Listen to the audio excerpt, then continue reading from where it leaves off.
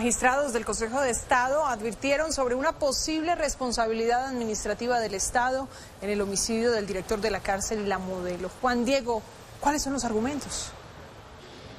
Lina, pues dentro de los argumentos que nos dieron los ex magistrados de este tribunal advierten que la insuficiencia de recursos no son justificaciones válidas para no haberle dado una protección al director de la cárcel, la modelo.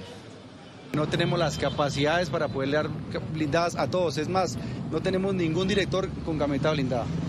Se desplazaron un vehículo oficial asignado por el IMPEC con un conductor del IMPEC.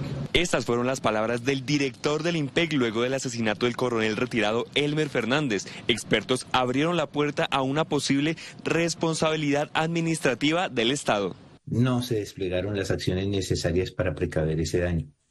Al final, volvemos a repetir situaciones que ya hemos vivido, en donde el fallecimiento de un servidor en ciertas circunstancias solo hace reaccionar al Estado cuando ocurre el hecho lamentable. Expertos afirman que la ausencia de solicitud de protección o la insuficiencia de recursos no son justificaciones válidas para no darle una protección. Una línea muy importante en donde eh, ha, eh, ha, concluido en que el Estado sea llamado a responder patrimonialmente por los daños es cuando se deja a la población a la merced de grupos delincuenciales. Esto hay profusos eh, fallos a nivel de, responsabilidad y en donde no hubo una protección efectiva. Al final, si se encuentra que el Estado omitió su obligación, omitió su deber, eso se traducirá en millonarias indemnizaciones para la familia. Por lo pronto se espera que el IMPEC entregue el informe solicitado por la Procuraduría sobre las medidas de protección